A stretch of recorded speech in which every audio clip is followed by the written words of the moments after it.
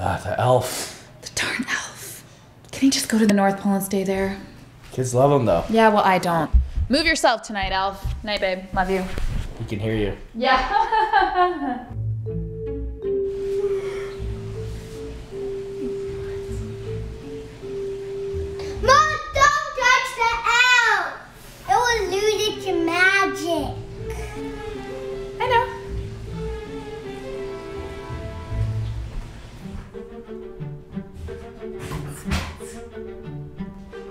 Has anyone seen my other sneaker?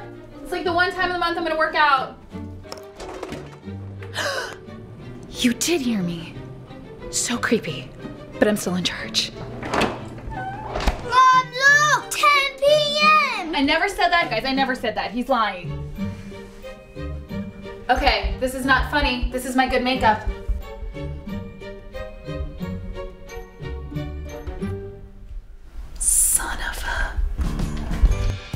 You think you're winning. You think you can break me. But I am not gonna let you win. Just stay right there. Got you. Mom, what are you doing? Oh, just giving him shade, honey. Elves get sunburned too.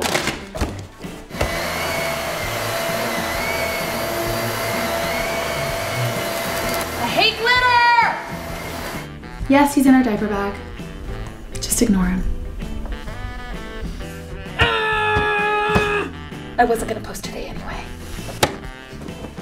I got it. Don't touch I got it. it. I'm using a no, tweezer. don't, We're late for don't, school.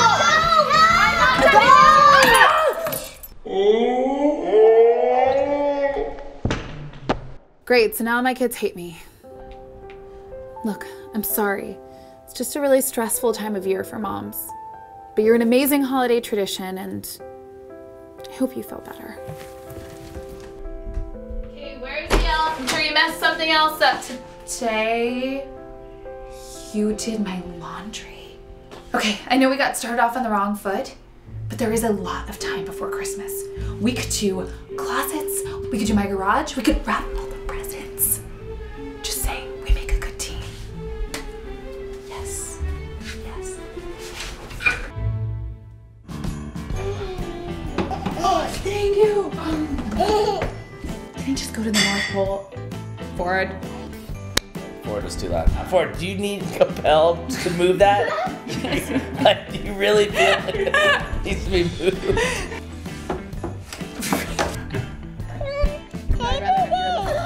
The elf fell down. Don't worry, it's a replica. No real elves were harmed in making this.